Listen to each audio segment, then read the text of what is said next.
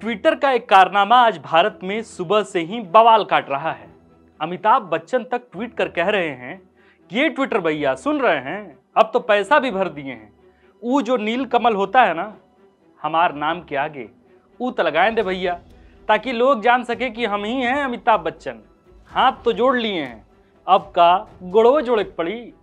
Twitter से इन दिनों सिर्फ़ सदी के महानायक अमिताभ बच्चन ही परेशान नहीं है। अच्छे अच्छों की इंडिविजुअल आइडेंटिटी को नुकसान पहुँचने की पूरी संभावना है। माजरा आखिर है क्या? चलिए आपको तफसील से बताते हैं।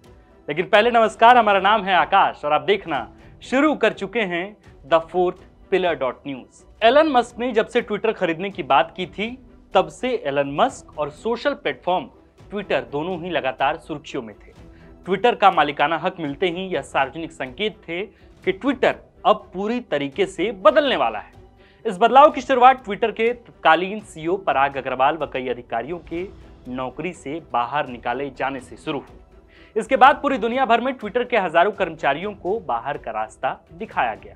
तब ट्विटर के मालिक एलन मस्क का बयान था कि कंपनी को हो रहे लगातार नुकसान की वजह से दुनिया भर में कर्मचारियों की छटनी का रास्ता अपनाया गया। फिर कुछ वक्त बाद ही ट्विटर का नया फरमान जारी हुआ।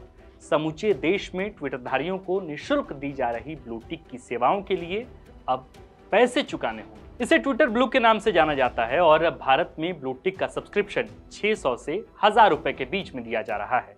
इसके साथ ही मस्क ने वेरीफाइड हैंडल्स को दिखाने वाले टिक के कई रंग भी लॉन्च किए हैं। इसके तहत अब वेरीफाइड हैंडल्स कई कैटेगरी में बांटे गए हैं, जैसे नीला, पीला, सिल्वर, कई वैरायटीज हैंडल्स के रंग हैं। अब आज हुआ ये कि देश की सबसे बड़ी पार्टी भाजपा के वेरीफाइड हैंडल से भी ब्लू टिक हटा दिया गया। बात अगर झारखंड की की जाए तो राज्य के मुख्यमंत्री हेमंत सोरेन सहित ऐसे कई नाम हैं, जिनके वेरीफाइड ट्विटर हैंडल पर ब्लू टिक अब नहीं दिख रहा है। भारतीय क्रिकेट टीम के पूर्व कप्तान महेंद्र सिंह धोनी के भी ट्विटर हैंडल से ब्लू टिक गायब है। झारखंड के प्रमुख हस्तियों में शामिल वरिष्ठ नेताओं और पत्रकारों के ऐसे सैकड़ों नाम हैं, जिनका अकाउंट पर ब्लू टिक खत्म हो चुका है। जैसे झारखंड के मुख्यमंत्री हेमंत सोरेन, पूर्व मुख्यमंत्री बाबूलाल मरांडी व रघुवर दास, वर्तमान झारखंड सरकार के लगभग सभी मंत्रियों का भी ब्लू टिक ट्विटर ने हटा दिया है। अब सवाल यह है कि कई लोग सवाल खड़े कर रहे हैं कि सब्सक्रिप्शन के बावजूद ट्विटर ने उनका ब्लू टिक आखिर क्यों हटाया? ज़ाहिर है कि इससे खासकर उन लोगों को काफ़ी समस्या है, जिनके नाम पर सैकड़ों फेक अकाउंट्स रोज बनते हैं। साथ ही इससे फेक न्यूज़ का खतरा भी बढ़ता है। अब आगे देखना होगा कि ट्विटर धारियों को वापस उनकी वेरीफाइड आइडेंटिटी ट्विटर द्वारा कब वापस दी जाती? है आप देख रहे थे the fourth pillar dot news. शुक्रिया।